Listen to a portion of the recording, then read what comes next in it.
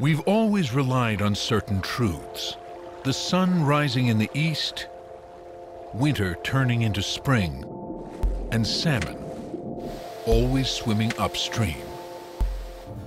In the Columbia River Basin of the Pacific Northwest, every stream and tributary once teemed with salmon. They would come in in such great numbers that they changed the chemistry of the water. There were major salmon runs 12 months out of the year. It was a never-ending highway of salmon. But now, salmon are fish out of water. Incubated in plastic bags, they embark on the strangest of journeys, migrating up an impossible gauntlet of our making. There was this belief that hatcheries were a way to have our cake and eat it too. Hatcheries have become the surrogates for the river, and it's not working. Salmon are in trouble. If this creature is removed from the tapestry, the tapestry will unravel. Where do we go from here?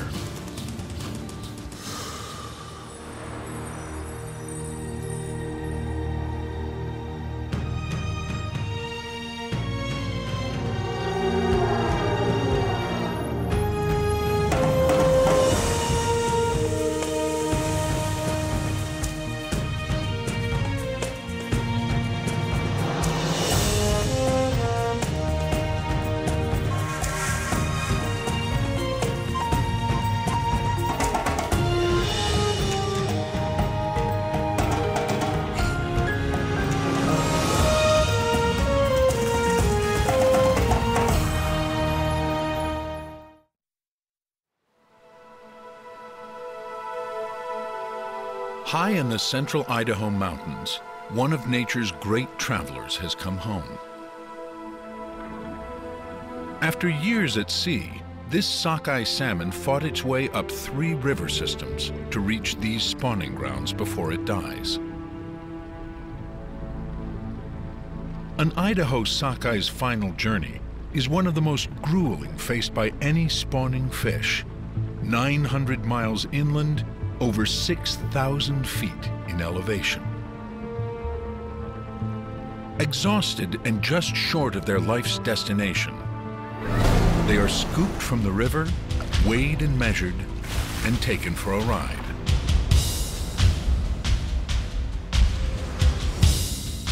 One hundred forty miles to a warehouse outside Boise, Idaho, where they are gathered with others of their kind remnants of a population teetering on the brink of extinction.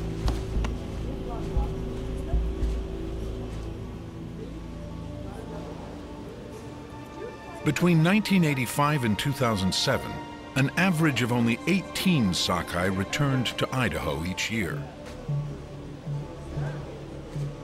Fisheries biologists now carefully control the reproduction of what was once an icon of abundance.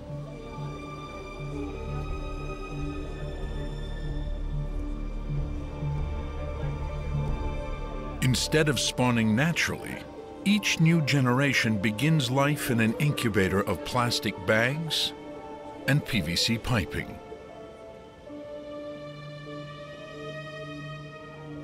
These are not farm-raised salmon on menus everywhere.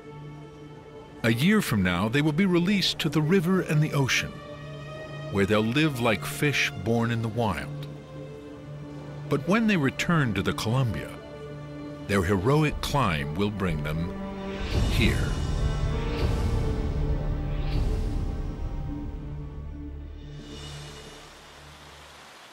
Across the Pacific Northwest, fish hatcheries have become surrogates for rivers and streams, incubating all six species of salmon, including Idaho's endangered sockeye.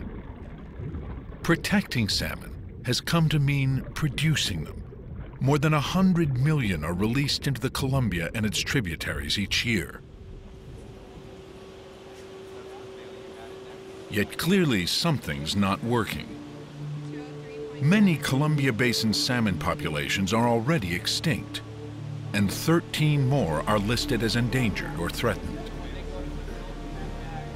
From one perspective, Hatcheries are evidence of our willingness and capacity to help an animal in trouble.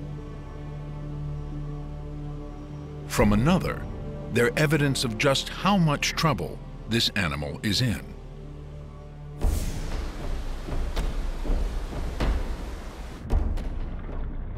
Over millennia, the annual migration of tens of millions of salmon became a defining event for all manner of life in the Pacific Northwest.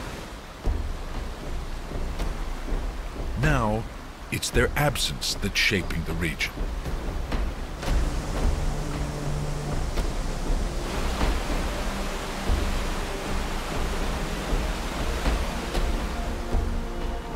The story of salmon is the story of a creature at once resilient and fragile, manipulated and wild.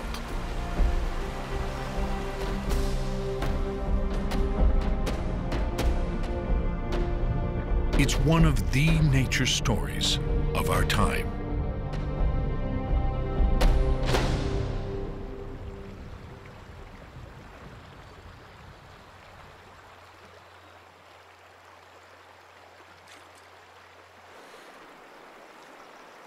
Like many Northwesterners, novelist David James Duncan's bond with salmon runs so deep it defines home. I was moving down through the creek bed, disobeying every rule my grandma had set down for me, and there was a log cantilevered out over a deep pool. And I had no idea what I'd find, but I just felt like I gotta go lie on this log. Six years old. So I'm lying on the log, and this big old hook jawed male coho comes up. It's green and red. It's got this glaring, unblinking eye. It's just looking right into the heart of me. And to me, that became like a compass. Like, I want to live where these guys live. I want to be in the presence of this mysterious creature.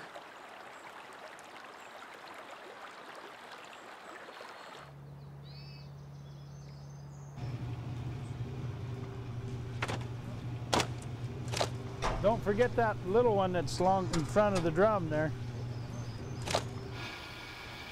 Sud Soderstrom lives hundreds of miles downstream from David Duncan. Salmon figure prominently in his idea of home, too. The Pacific Northwest is salmon. It's the history of this area. You wouldn't believe how many livelihoods this has supported, just this one little station. And there used to be fish stations all up and down the river. They're like each one was like a little community. My family's been doing it since 1872. I have a son and some grandsons that like the water too, you know, and then there's things I want to teach those kids.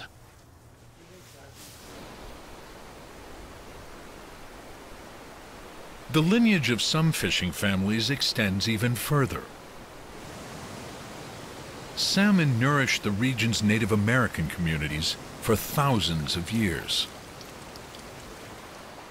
While much of that biological abundance is gone, a rich cultural heritage endures. If it was just about something to eat, you could just go to the grocery store.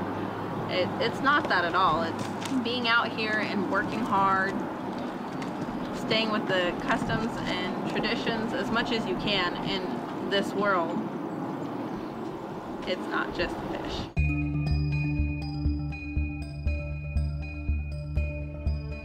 For most of their life, salmon travel the North Pacific, foraging the ocean's rich food supplies.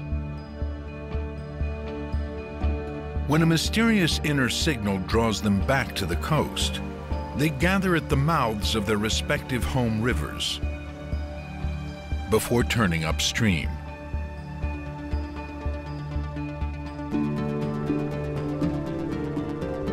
They come in waves, obsessively seeking the streams, often the very gravel beds where they were born.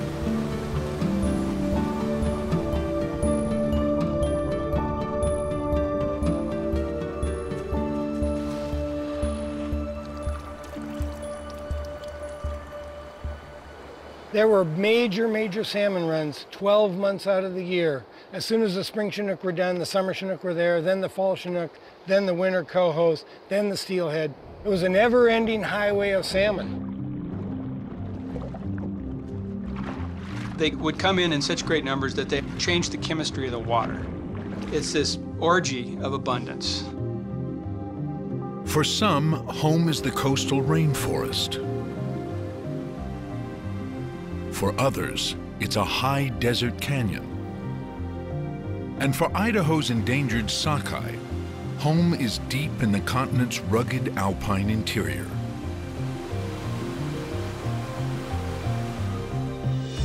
Past eight giant dams, countless false turns, Idaho sockeye remain insistent on the unique chemical signature of Redfish Lake, a cold water womb in the Sawtooth Mountains, named for the colorful fish that once spawned here in the tens of thousands.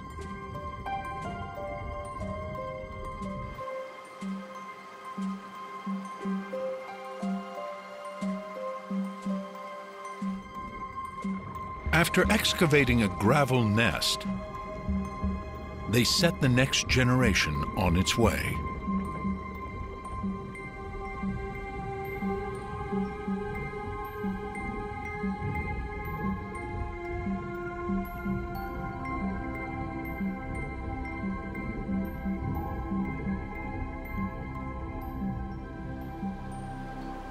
Soon after, they die.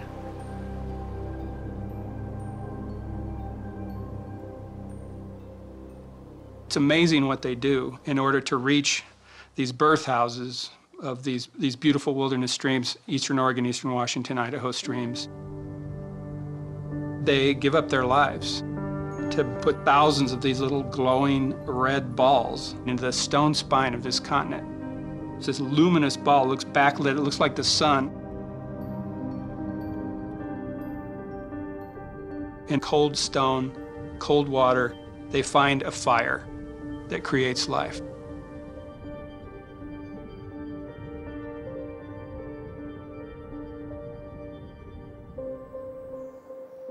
For the Columbia Basin, that fire wasn't just figurative, it was transformative.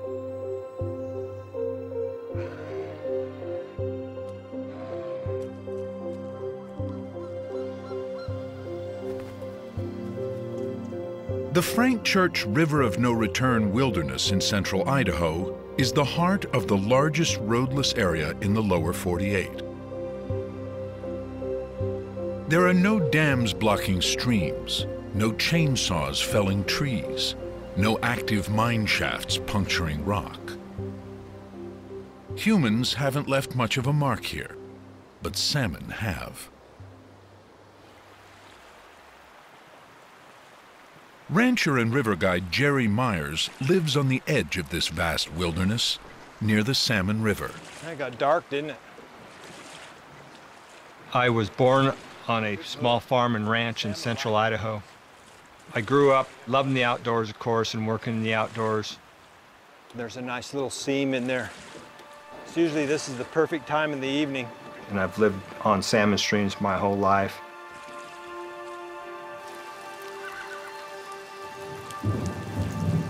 You understand by living out here that things are connected. And a big, huge part of that is salmon. This little creek's called Cabin Creek, and it runs through my backyard. This water comes from these big mountains.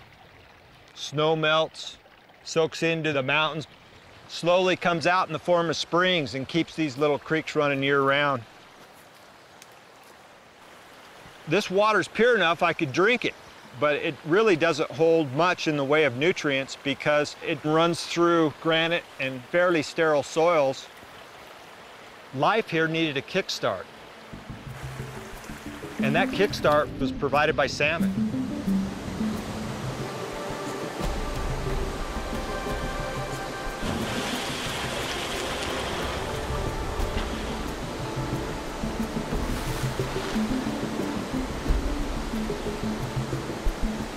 For thousands of years, the biggest component of the food base for this area was salmon. And it tied the rich nutrients of the Pacific Ocean to these mountains in Idaho. It's probably easier to name the organisms that aren't directly affected by salmon than it is to name the ones that are because everything's affected.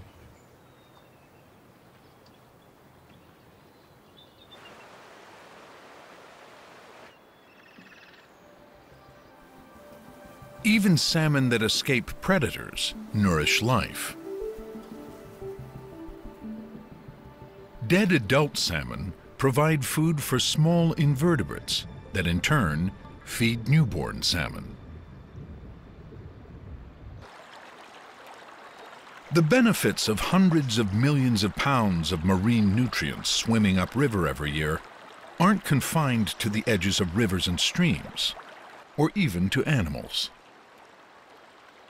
Bears will come down, eat that carcass, and then bears will go up into the woods and do what bears do in the woods. And by that mechanism, they actually spread nutrient up these mountains. So you can find salmon generated marine nutrients in these big ponderosa trees around here that are way away from the stream bed, but they were spread up there by animals.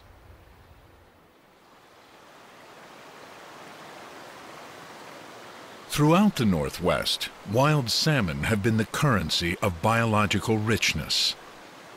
But now, that wealth is slipping, or already gone. A rancher that used to have this ranch said he would lay awake at night, kept awake by the splashing salmon that were down in the creek. My wife and I have been here for nine years and we've yet to see a salmon. For most Northwesterners, wild salmon are either a memory or a story. Neither feeds the land. Wild salmon are not snail darters. Salmon are this unbelievably charismatic and biologically necessary creature. And salmon are in trouble. As much as any species of plant and animal in the Pacific Northwest. If this creature is removed from the tapestry, the tapestry will unravel. Incredibly, the unraveling of the Columbia River's tapestry has been assisted by a century of efforts toward salmon conservation. In response to evidence that careless development of river systems was killing fish, well-intentioned people started removing the fish from the river. And the fate of salmon has literally been in our hands ever since. More than 150 years ago, European Americans arrived in the Pacific Northwest eager to exploit the seemingly unlimited supply of beaver pelts, gold, timber, and salmon. The annual salmon catch skyrocketed when innovations in canning made it possible to ship to markets all over the world. Overharvest, habitat loss. It wasn't long before production at every cannery in the region was in decline.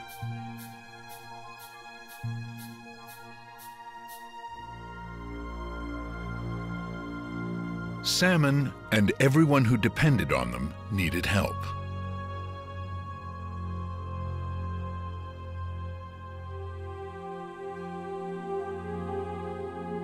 Experiments with controlled reproduction of salmon suggested they could be mass-produced in hatcheries, a kind of fish factory.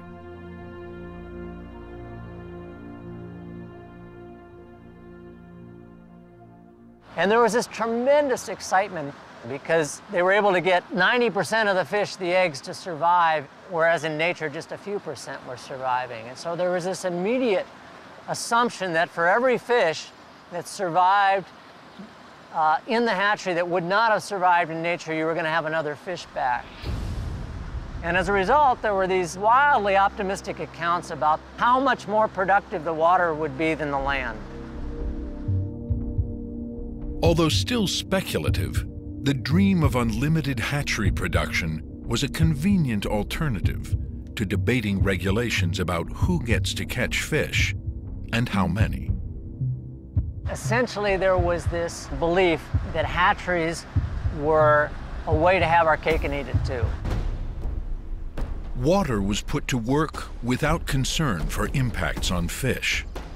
Rivers large and small were straightened, diverted, and impounded. Over 400 dams now control the Columbia and its tributaries. It's one of the most hydroelectrically developed river systems in the world. Many dams were built with fish ladders, artificial rapids that allow fish to pass around the dam. But there were some notable exceptions, such as Idaho's Hells Canyon dams, which blocked passage to the entire Upper Snake River, including desert streams as far away as northern Nevada. And the Grand Coulee, which blocked passage to the spawning grounds of the famous June hogs, 100-pound Chinook salmon that were among the largest on the planet. You go above these huge dams and you think, God, what this could have been and what it was. It's just gravel bed after gravel bed after gravel bed. You, could, you just could imagine how much fish could spawn in these areas and they can't get there. When they closed the gates on Grand Coulee, over a third of the spawning area of the Columbia Basin was totally blocked off. And that was the end of it. Five years later, the run was dead.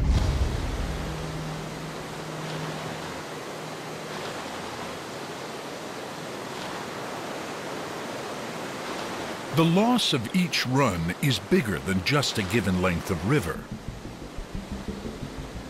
Lose a stream, lose the adaptations salmon evolved in response to specific conditions there.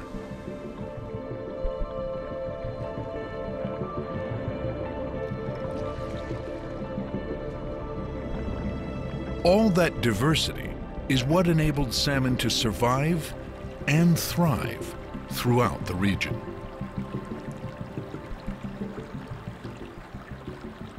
Today, the natural productivity of the Columbia watershed has been replaced by over 170 hatchery programs. This is Carson National Fish Hatchery. We raise primarily spring Chinook salmon here. Our fish live here approximately 18 months. They are released in April the following year. We have approximately 1.6 million fingerlings on station at this time. We do a decorative coloration on the bottom of our raceway so that it simulates being out in nature so that they're not accustomed to looking at white cement or gray cement. They are looking at what they would possibly see out in nature. I just love them. They're wonderful. the whole idea of the hatchery is to produce a lot of fish and do it just like we would an industrial product. The hatchery is built around the notion that we developed early on that we're going to make the optimum fish. We're going to release it at the right size, we're going to release it at the right time, we're going to control the conditions so it survives all of the vagaries of that freshwater environment and unfortunately, the real basis of the productivity of salmon is their genetic diversity. And the problem is, is through the process of rearing fish in a controlled environment generation after generation, you lose that genetic diversity through interbreeding or through selection in the hatchery or both.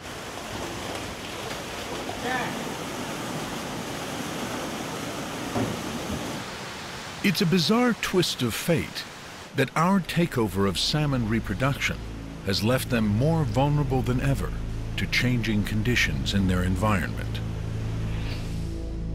No part of their world changes more than the salt marshes, wetlands, and tidal channels of the Columbia estuary.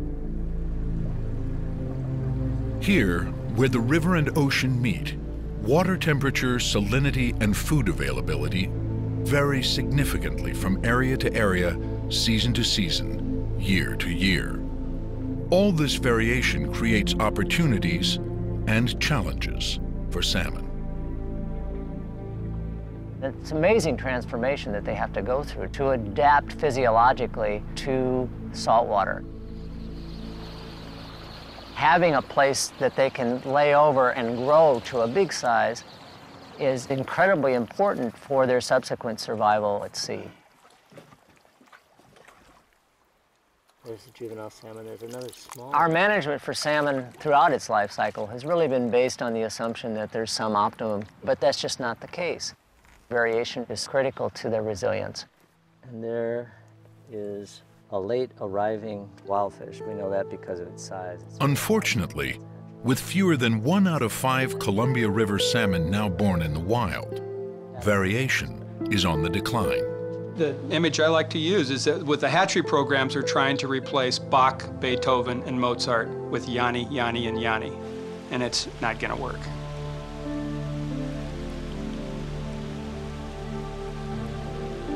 Though we certainly keep trying to make it work.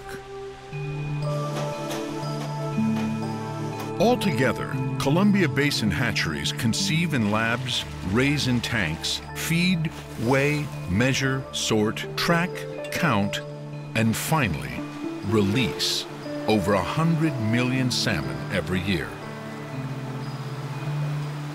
But fewer than 1% of the juveniles we produce every year return as adults. It turns out there is much more to saving salmon than just making salmon.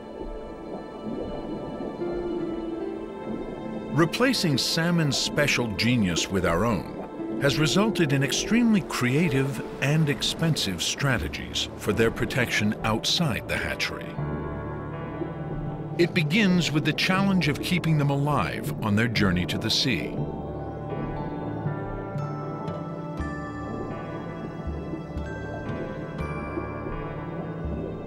The first threat to newly released hatchery salmon is bad habits. Used to being fed at the surface, many become food themselves.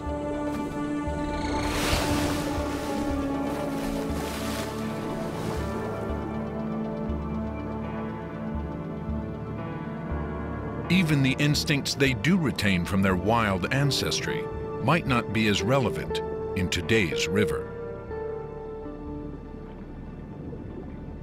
They used to travel from the headwater streams to the ocean facing backwards. They were just they just would hold their place in the current and the current just swept them out to sea. Now there are 8 dams blocking their journey that create about 400 miles of slack water, of dead water. So they have to turn around and swim facing downstream, burning up their energy. So it's a really unnatural situation we've created for them. A four-inch fish arriving at a 100-foot dam doesn't have many good options. Some juveniles get swept into the turbines that are generating electricity. The fish is suddenly shot down to 110 foot depth. Think about how your head feels when you're 12 feet deep in a swimming pool. They're under unbelievable pressure. Others take the plunge directly over the spillway. Either way, a number of juveniles will die at each dam. And survivors often find themselves disoriented in the turbulent tailwaters below, where they're easy prey for pike minnow, a native fish whose population has exploded in the warm, slow water between dams. In response, authorities have enlisted the help of bounty hunters. Hundreds of fishermen like Tim Histand now fish for pike minnow because pike minnow have a price on their heads. It looks too easy, doesn't it? This is five bucks. The more pike minnow Tim turns in, the more each is worth, up to $8 a fish. A few have special tags, swimming jackpots worth $500 each. Tim does so well at it, he can shut down his contracting business for five months every year and hunt pike minnow full time. Last year I caught 3,650, I think, some, something like that. The year before I had 4,400. So in the last five years, in the last five years, I've probably caught close to 20,000 of them.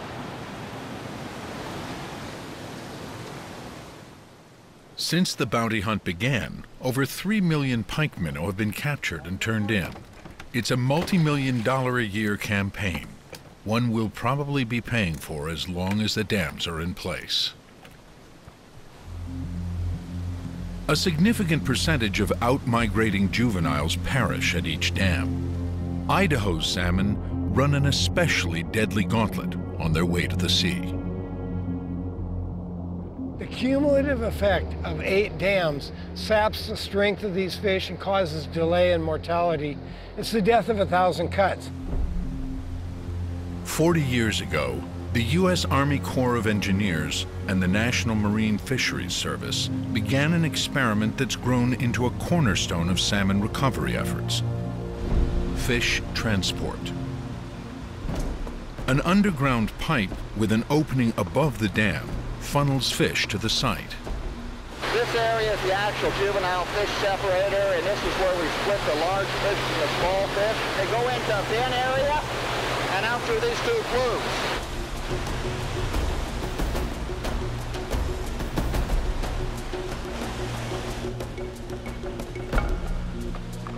A random sample is checked for the tags hatcheries implant in the noses of salmon.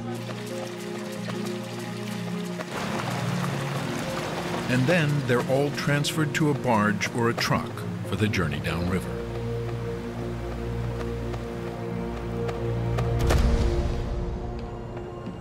$50 million a year has purchased collection, passage, and transport for as many as 20 million young salmon.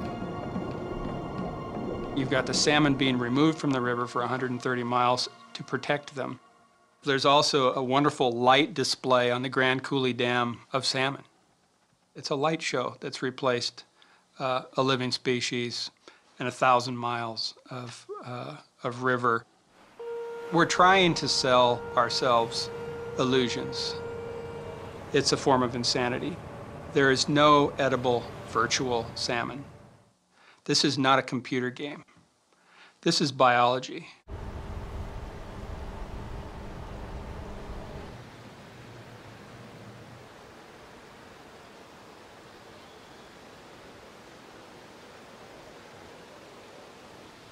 A few miles below Bonneville, the young salmon are unceremoniously flushed into the river.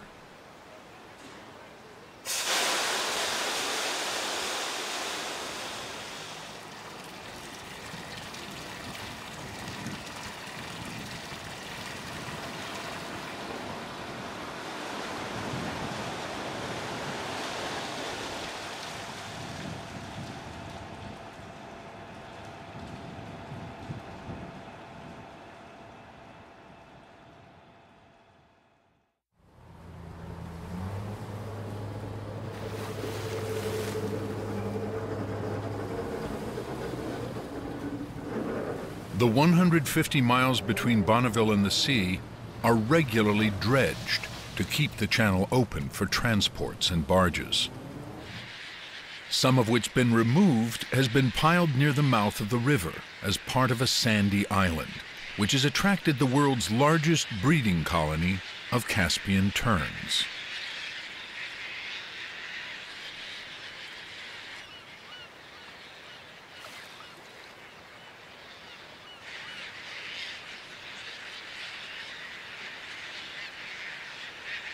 Together with their young, these terns consume millions of juvenile salmon a year, mostly hatchery fish released on a deliciously predictable schedule. To protect young fish, the government is building the terns an alternative island farther offshore. If that's successful, maybe something similar can be done for the tern's neighbors. 13,000 pairs of cormorants and their very hungry chicks. We have cormorants now in huge, huge numbers. We have a whole new species of cormorant that's moved into the Columbia system to attack these fish.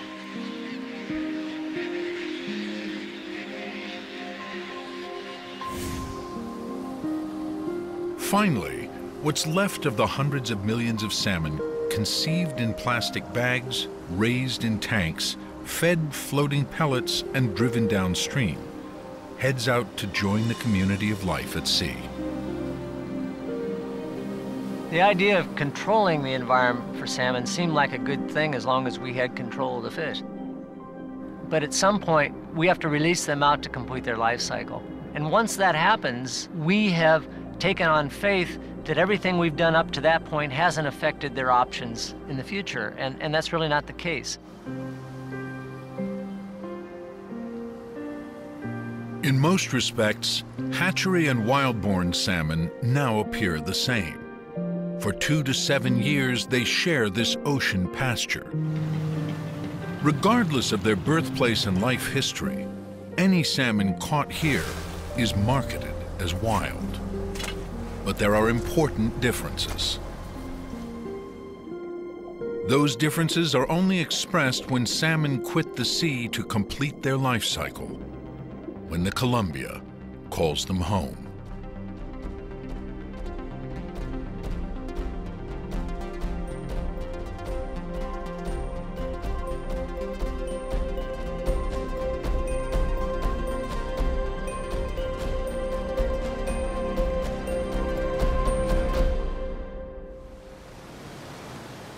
For returning Columbia Basin salmon, Bonneville is the threshold between the wild open ocean and the managed engineered river. Salmon hold for up to 24 hours at the foot of the dam as they prepare to enter the fish ladders. The pause isn't just inconvenient, it's sometimes deadly.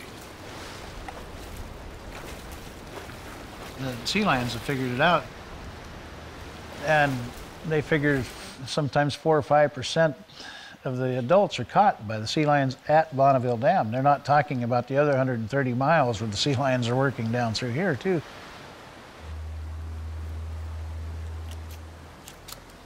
About a billion dollars a year are now committed to Columbia River salmon recovery, inspiring extreme measures to protect the investment's return. During the salmon run, boats patrolled the width of the Columbia below Bonneville, trying to drive sea lions back to the sea. In 2008, 35,000 non-lethal cracker shots, rubber bullets, and seal bombs were fired at one protected species on behalf of another. Fish that escape predation and enter the ladders pass by the counting window at Bonneville. Here we measure how well they and we are doing. Lately, about a million fish a year, both wild and hatchery born, travel past the window. That's less than 8% of an average run 100 years ago. The consequences of that decline are going to prove ever more devastating.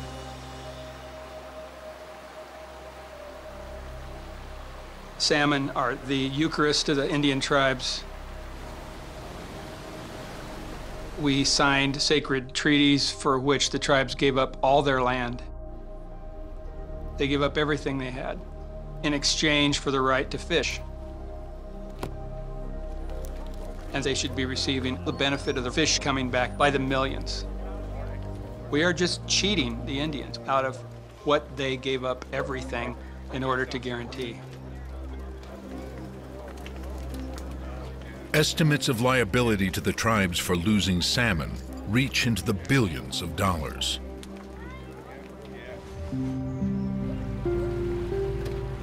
But it's not just the tribes who are losing something important. Fishermen like Sud Soderstrom face severe restrictions on when and where they can catch fish.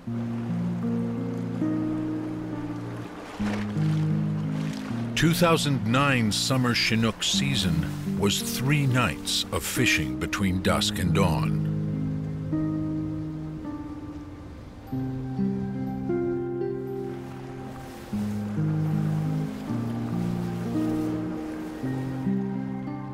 This is my life, you know, and it's been my family's life. It's hard to watch it dying like it is. You've lost what belongs. salmon belong. The dream of unlimited hatchery production turned out to be just that, a dream. But even were it realized, something irreplaceable would be lost. Fish that return to hatcheries don't find a fire in cold stone or express the riotous diversity that has so long been the salmon's greatest strength. They don't fertilize the alpine womb that was, for millennia, each generation's birthplace. A lot of people, I think, have a a misunderstanding that all this money is being spent on salmon and that salmon are, are suddenly being recovered. We've had a few bumps up in the number of salmon that have come up the Columbia and Snake River the last few years. But what they don't understand is that those are fish coming back to hatcheries. They're not going up the tributaries. They're not providing any type of nutrient for all the, the myriad of streams and small rivers. So we got to be really careful when we talk about recovering fish that it, we're not talking about getting big numbers of hatchery fish up. That's not recovery. What true recovery would mean to this part of Idaho is something Gregg Servheen and his colleagues want to understand. Yeah. The completion of the three-dam Hells Canyon complex in 1967 eliminated salmon from thousands of miles of streams in the upper Snake River watershed, ending the flow of nutrients from the sea. We're looking at what those adult salmon, these swimming fertilizer sacs that came back up into these systems, did for these entire ecosystems. We're testing carcasses because we believe they're the closest to the natural uh, returning spawning salmon as well as a manufactured product that simulates those carcasses.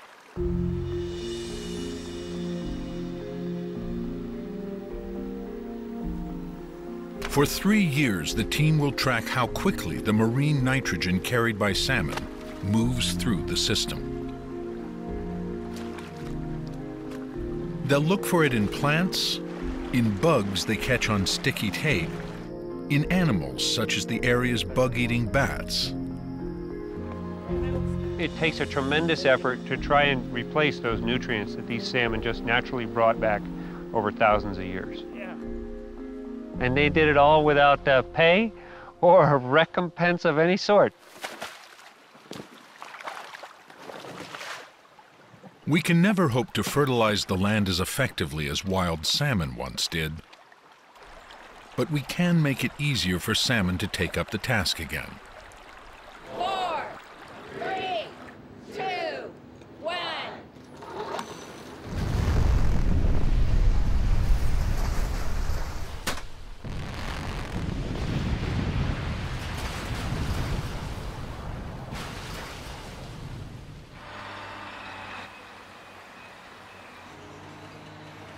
Of the 79,000 dams on American rivers, many are old and expensive to maintain.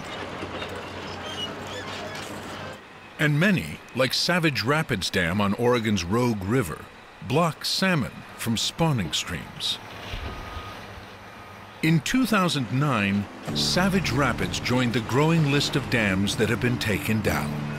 When it was, the Rogue ran free for the first time in 80 years. Jim Martin.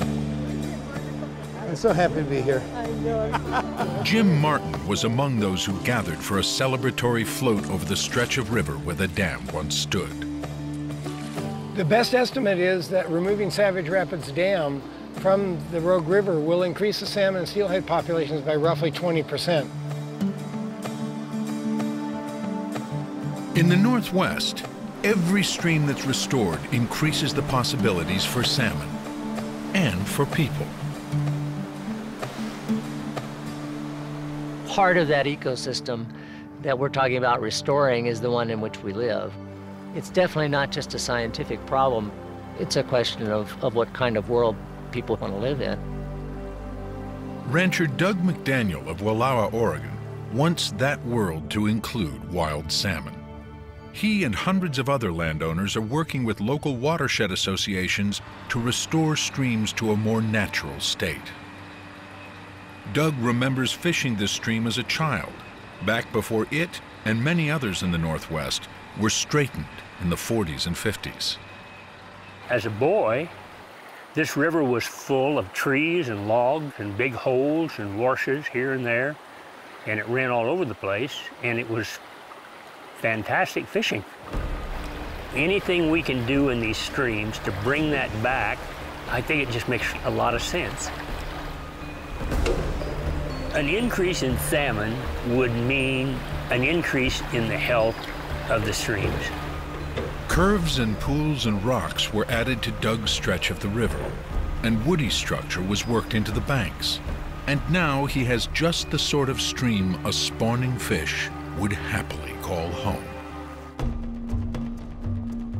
In Oregon alone, more than 3,500 stream miles have been restored. There are even restoration efforts underway in the estuary. Generally, fish runs recover quickly when given the chance. I've seen some of these streams recover and have runs of tens of thousands of fish. And it's unbelievable how that unifies every single person in the watershed. I've seen these events where people are out there reclaiming streams that have been turned into ditches by dredging. And you see an old Rush Limbaugh loving farmer and a green haired punk laughing and telling stories. I mean, that's pretty great.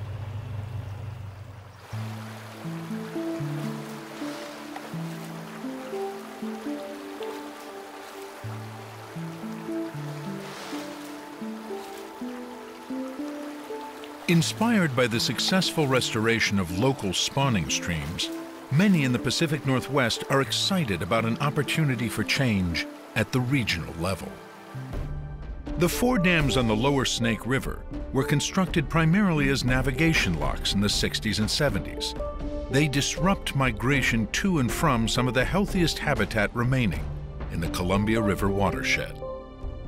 The lower Snake River dams takes things into a whole different dimension by simply removing these four Cold War conceived dams on the lower Snake.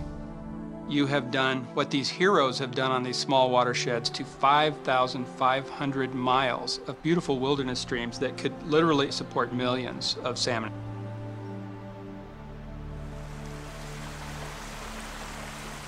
It's so simple. It's just simple. If the four lower Snake River dams were removed, it would be the largest wild salmon recovery project that's workable on Earth at a time when the oceans are in crisis.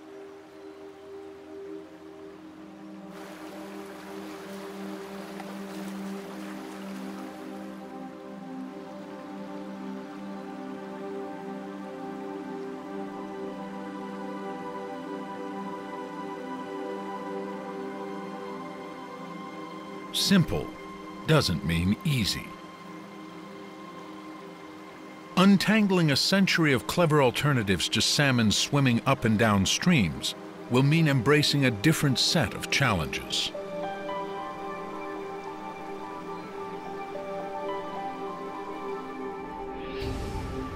For us to tackle this salmon problem, we have to work on the things that we're good at. Better ways to generate electricity, to water fields, to get commodities to the coast. We can do those things. And if we give nature a chance to recover these fish, it will happen.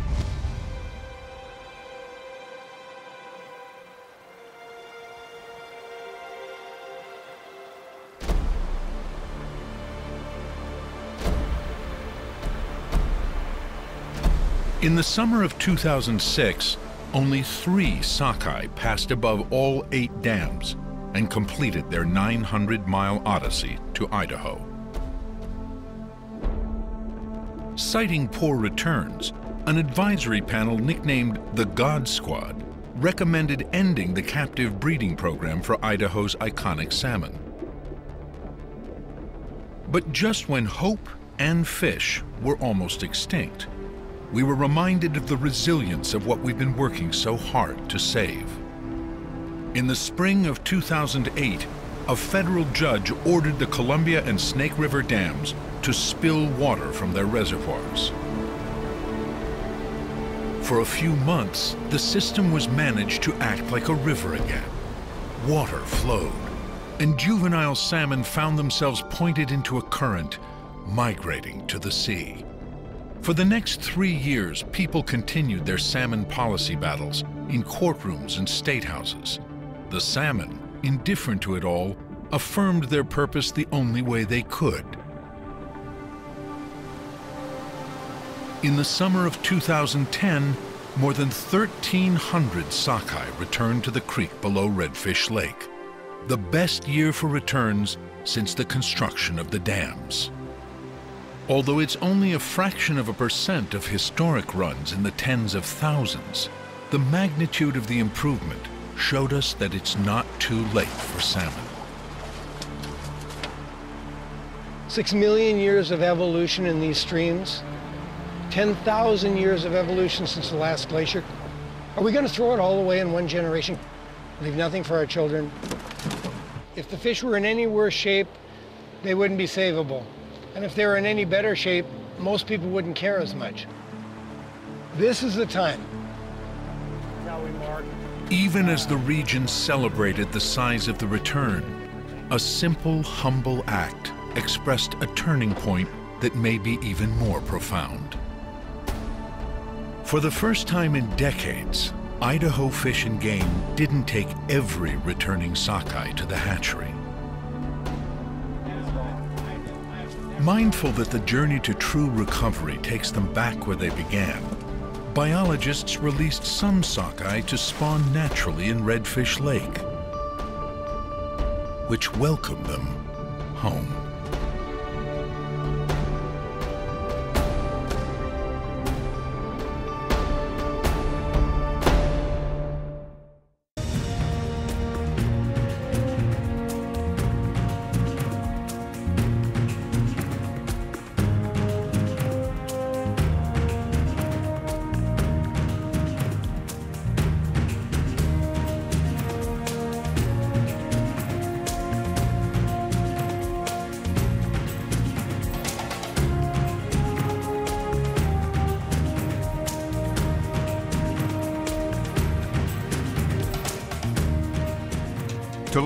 About what you've seen on this nature program, visit pbs.org.